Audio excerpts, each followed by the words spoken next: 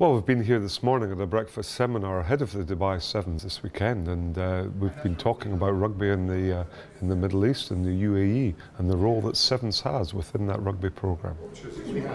The situation at the moment here in the UAE is that the game is growing at a great rate. Uh, particularly amongst the local population, where we've given them the opportunity uh, over the last 18 months to get involved in the game. I think the role that uh, Dubai Sevens plays is huge because it gives the game a great profile. It means that young local players can attend the games, can watch the games on television, can aspire to play there.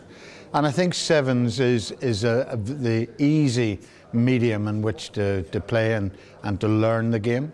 Not as complicated as 15s. Uh, even a small school can get 10 or 12 players out to play. So I think for us it's the way that we will grow the game. Yeah, I came here in 1992 and I coached the Kiwi Nomads team before the actual tournament here became fully professional and international. And uh, I've just seen massive changes in the facilities, you know, the, the grounds, the numbers playing the game now, the entertainment it provides, it's just quite quite huge. And uh, the skill sets have improved greatly and uh, where the game has come very, very competitive.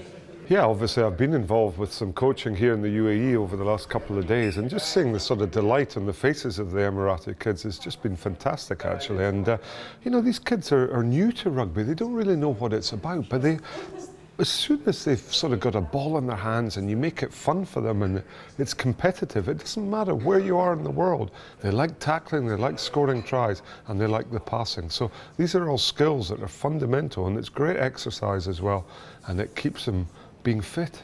I think uh, in 10 years' time we will have a, a, balance about our 15s and 7s programmes as we have now, but I think the look of our of our team will change uh, very much. We'll have a strong Emirati look about our 7s and in fact we may well apply uh, IOC uh, eligibility to our sevens program. I think what we'll, we'll find is that over a number, uh, next number of years, that, that teams that have perhaps been unfancied in years gone by, they will come and be very, very competitive for a number of years.